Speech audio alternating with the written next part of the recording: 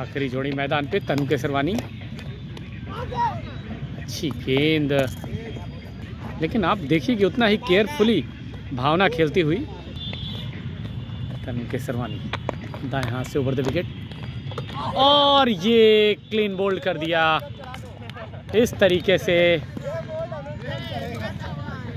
भावना out हो गई और इसी के साथ जीत हासिल कर लिया है।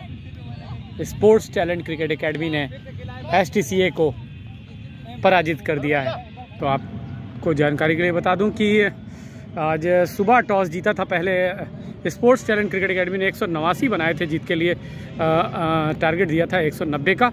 एक सौ आठ विकेट के नुकसान पर, उसमें जो इसके बाद लक्ष्य का पीछा करते हुए स्पोर्ट्स टैलेंट क्रिकेट एकेडमी ने एक सौ अड़सठ रन बनाए दस विकेट के नुकसान पर सौरभ प्रताप चालीस, शिवम यादव तीन रन बनाकर आउट हुए। सौरभ सिंह छब्बीस रन अनुराग यादव उन्नीस, सुमित केसरवानी सत्रह, आर्यन उपाध्याय इकतीस, स्वीटी एक, ओम तिवारी नौ, साकार दो रन बनाकर आउट हुए। और भावना सिंह, जो कि अपना खाता नहीं खोल सकी, लेकिन नॉट आउट रही, नौ गेंद का सामना किया। सोनल माफ़ कीजिएगा, भावना सिंह खाता खोले बगैर आउट हुई तनु की गेंद पर बोल्ड हुई और गेंदबाजी में उद्गार छः ओवर, छियालीस रन, एक सफलता।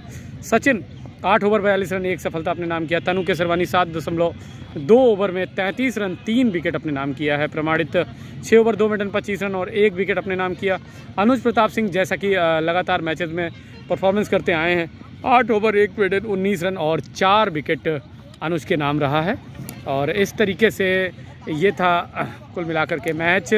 और आपको बता दें कि जो मैच की समरी है, वो इस तरीके से है कि अमित पटेल और जो बल्लेबाजों में अच्छी बल्लेबाजी करी है सौरभ प्रताप ने 40 रन बनाए हैं और उसी तरीके से गेंदबाजी में दोनों भाई और बहन, दोनों ने चार चार विकेट हासिल किए हैं। भावना और अनुज ने